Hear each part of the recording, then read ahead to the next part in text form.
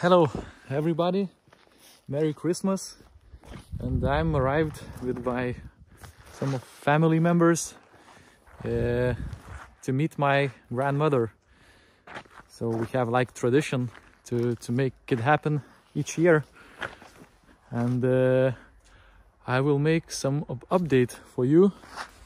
I am near some beaver dam and near the pond which we drained uh, on May I, I think so.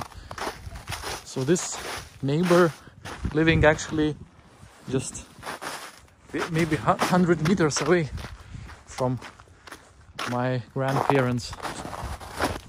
Let's go and check what's going on there. So this is the pond the same pond. And it's again full of the water.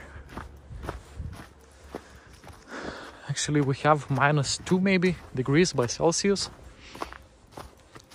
And uh, and uh, two weeks ago maybe we had minus 10 each day. So everything is frozen up to now. And this this pond there is no fishes after we drain it and we clean it. So the fish will be introduced on uh, springtime. Yeah so actually we drained this pond because of the otter which is eating the fish. So we wanted to know how much fish left there so I guess this is the hole of this otter.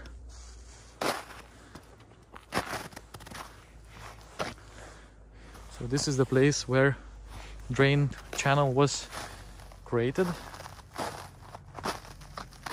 And there is a lot of fingertips around from this channel. You can see here here. So those animals is coming from there and eating the fishes.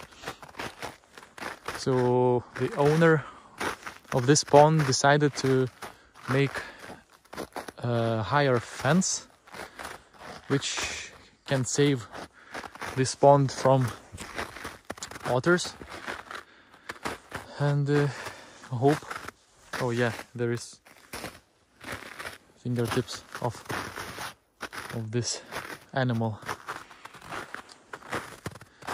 Yeah so he will make a higher and uh, higher fence and which which is supposed for uh, this animal. And this is the canal or small river but yeah more likely canal.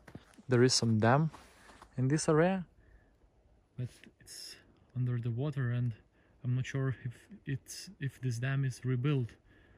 Maybe not. But uh, but yeah uh, maybe four days ago we had plus six plus five degrees so all water comes still from the fields and going to the bigger rivers and finally meets the Baltic Sea. So this is update from my countryside from my grandmother's side. In summer time I'm here uh, quite often because I have here a lot of things to do. From for example to help my grandmother and finally to bust some beaver dams.